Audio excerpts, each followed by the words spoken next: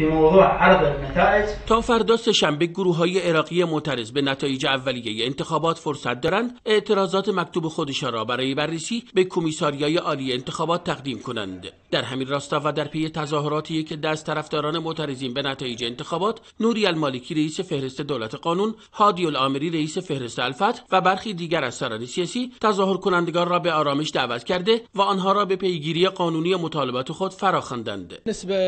معتقدم بررسی دقیق اعتراضات حق مسلم گروه های سیاسی است. تا کنون 1370 شکایت تقدیم کمیساریا شده و امیدواریم به طور دقیق به این شکایت ها رسیدگی شود. بر اساس قانون انتخابات عراق کمیساریا بعد از دریافت اعتراضات رسمی به مدت هفت روز این اعتراضات را بررسی می کند تا بعد از آن اگر اعتراض جدیدی نباشد آن را برای تایید نهایی به دادگاه ویژه انتخابات ارسال خواهد کرد. به گفته کارشناسان تا بررسی دقیق اعتراضات و اعلام نتیجه نهایی انتخابات حداقل دو هفته دیگر باقی است. جلال خالدی خبرگزاری صدا و سیما بغداد.